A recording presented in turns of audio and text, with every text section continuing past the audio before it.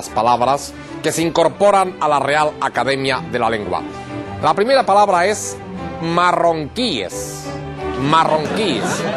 Dícese de los marrones que nos tenemos que comer por culpa de Marruecos. Marronquíes. Por otro lado, introducimos esta noche un nuevo verbo, exagerar. Exagerar. Exagerar significa expulsar del territorio. Me han exagerado, me han expulsado. Exagerar, como todos ustedes pueden imaginar, pues es un verbo de forma irregular. Un ejemplo sería en la frase Mohamed VI exagera. ¿eh? Mohamed VI expulsa del territorio. En fin, amigos, buen fin de semana y huyan de los marronquíes, no les vayan a exagerar a ustedes también. Buenas noches.